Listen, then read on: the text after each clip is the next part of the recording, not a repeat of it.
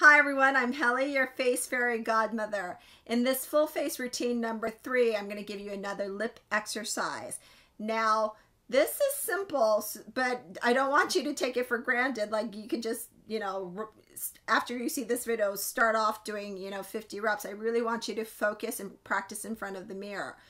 And all you have to do is, again, posture, sit up straight, shoulders back. Make sure your hands are clean because they're going to be all up in your mouth, girl.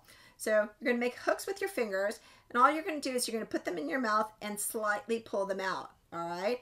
And when, when you pull them out, you're going to make an O with your mouth and bring them back in, pulling it out, bringing them back in. Let's try it. Shoulders back, elbows out.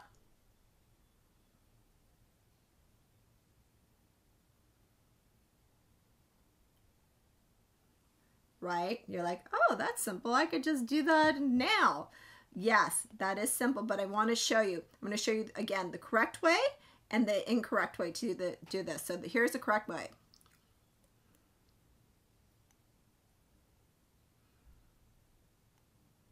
Now the incorrect way.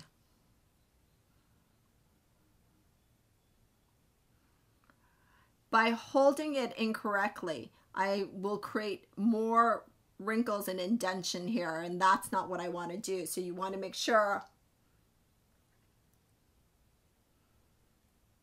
you're not crinkling the skin any more than it needs to, all right? You got this. We could do this. Now, for those of you who have bigger mouth, have, you know, bigger mouth or larger lips and you feel like that one finger is not enough, you could actually use two fingers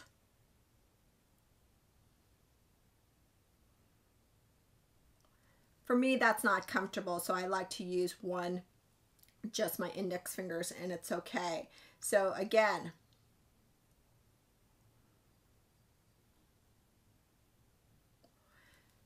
not only do I feel it here, but I feel it here. And this exercise really helps with these horrible vertical lines that people get as we get older because our lips get thinner and then you start to see these little wrinkles even just simply by talking but these lip exercises will really um, help that. And when you do the exercises you'll feel the muscles working and burning and that's great. So now that you've seen this you know how to do it. Click on to the neck routine and I'll show you the final routine in this series. After that girl we are going to start with the 50 reps